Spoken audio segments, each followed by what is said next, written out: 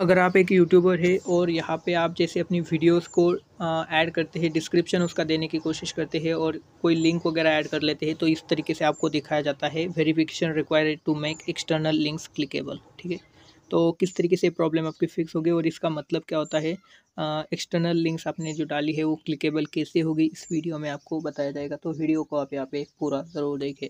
अब सबसे पहले एक्सटर्नल लिंक्स क्या होते हैं वो समझिए तो मान लीजिए आप यूट्यूब के अलावा कोई लिंक्स जो है अपने डिस्क्रिप्शन में डालते हैं, ठीक है? इंस्टाग्राम की हो गई या फिर टेलीग्राम की हो गई या फिर दूसरी आपकी वेबसाइट वगैरह है, उसकी अगर यहाँ पे आप लिंक ऐड कर लेते हैं डिस्क्रिप्शन के अंदर तो वो एक्सटर्नल हो जाएगी।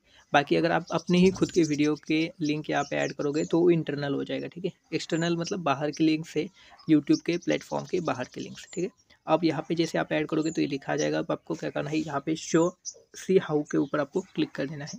ठीक है ये आपको एक वेबसाइट के अंदर ले जाएगा। और यहाँ पे क्या करना है कंप्लीट आईडी वेरिफिकेशन या फिर कंप्लीट वीडियो वेरिफिकेशन बेसिकली यहाँ पे ये जो है चीज़ काफ़ी सारे लोगों की ऑलरेडी कंप्लीट हो जाती है मतलब कंप्लीट होती है।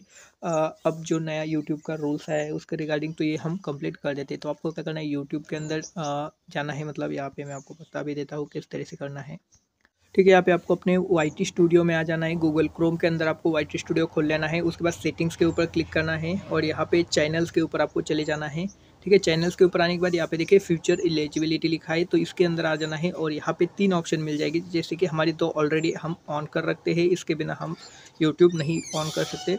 बाकी यहाँ पे तीसरा है एडवांस फीचर तो इसके ऊपर आपको क्लिक करना है, यहाँ पे देखिए ये ऑलरेडी इनेबल है तो आपको जस्ट इसको इनेबल कर देना है। इसे इनेबल करने के लिए आपके पास तीन ऑप्शन दिए जाते हैं, जैसे वीडियो वेरिफिकेशन हो चैनल हिस्ट्री हो या फिर वैलिड आईडी हो।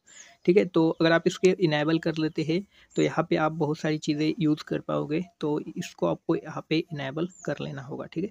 तो आप यहाँ से डायरेक्टली इनेबल कर सकते हैं, बाकी यहाँ पे हमारा इनेबल है, इस वजह से हम अगला प्रोसेस यहाँ पे आपको नहीं दिखाएँगे।